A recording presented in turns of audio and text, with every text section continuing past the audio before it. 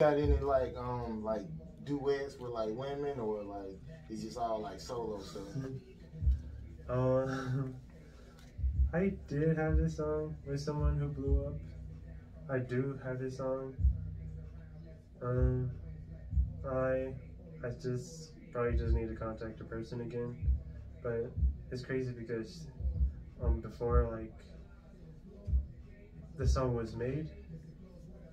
No, it's after after the song was made. She blew up from one of her songs, and it was crazy. So Oh, she she on the radio um, more like or like viral on the internet yeah, type of thing? yeah, yeah, yeah. Okay, that's what. So so y'all still cool or Uh, she kind of no, just like she don't no. fuck with you no No, more? she don't fuck with me right now. That's how they do. All of them do that. Yeah. Yeah, some people they get a management deal and start acting funny. So you just imagine that somebody just blow all the way up. So I know exactly what you're talking about, Yeah, man. it's crazy. It's a good song too, so that's why I'm just like, fuck this. It's okay though. so do you got like all her information, like um her her BMI number or whatever to register the song, or you didn't even get that far No, with it? no, it's just it's just a song that was in the making, and I I actually met up with her personally just to like confirm like, hey, can I post your song? You know what I'm saying? Just to get her okay with it. And like she said yeah, but then like she just turned opposite out of nowhere. So I don't know. I can't do nothing with the song now. It's just there. Maybe in the future, I'll probably post it because it is a good ass song, but right now it's just it's just in my playlist. So she like on the label or she independent?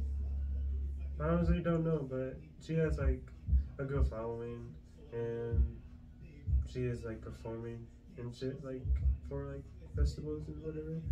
That's what's up. So how did how, did you like? Do you kind of know how she got to that point, or you just? I don't know. I, I just think it's crazy that like I was like when she first made that song that blew her up. I reached out to her, and I made like a little feature. that I put myself into the song, and I was just like, "Hey, I, I really like your song. I put my little put my little feature in here." She was like, "Oh shit, that's cool." And after that, um, she was like, she work was work on a song with me, and that was April of last year. So around July, that's when I hit her up to make that song. And after we made the song, it like been a little while. Then I met her in this year in June.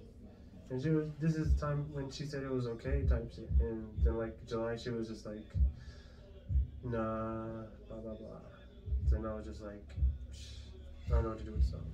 Yeah, but the thing about this industry, like in three to six months, somebody can blow right past you. So Mhm. if you keep working, she gonna be begging you for features. So you never know how it's gonna work out. So it's best to treat everybody right, cause she might be asking for your help pretty soon. Yeah, I'm seeing how like she kind of like is growing and what is like what her process is because I kind of see how she is starting from like the beginning. So it's just like I'm seeing how she kind of does it herself and how she's trying to like spread her message or whatever she's trying to do. So like if you got to that point where you blew past people who kind of like acted funny with you, Mhm. would you help them out or you just be like, fuck y'all, you, you ain't help me? Um, I mean, yeah, I, w- ooh. I don't know. I want to see everybody grow, but I guess I take everything kind of personal when it comes to like close relationships. When it comes to like hurtfulness, because I don't know, I don't like experiencing that. So I would say I would help them out, but from a distance. Oh, I'll be like, fuck y'all. Or, or, yeah, or either you do that or tax them more than what you normally charge. And they, you know what I'm saying? If they really want it, they up, they gonna pay it.